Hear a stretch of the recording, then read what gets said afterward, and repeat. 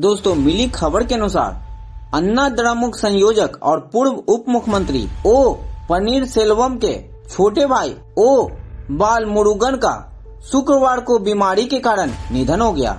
इस बात की जानकारी पार्टी ने दी है। आपको बता दें कि मुख्यमंत्री एम के स्टालिन और अन्ना द्रमुक के सह संयोजक के पलानी स्वामी ने पनीर सेल्वन के प्रति संवेदना जताई है। वहीं आपको बता दें कि अन्ना द्रमुक ने एक बयान में कहा है कि बाल मुरुगन का शुक्रवार को थेनी ज़िले के पेड़िया कुलम में बीमारी के कारण निधन हो गया। वहीं स्टालिन ने कहा है कि उन्हें बाल मुरुगन के निधन के बारे में जानकर दुख हुआ और उन्होंने पनीर सेल्वम से फ़ोन पर बात की तथा उन्हें उनके परिवार एवं मित्रों के प्रति संवेदना जताई।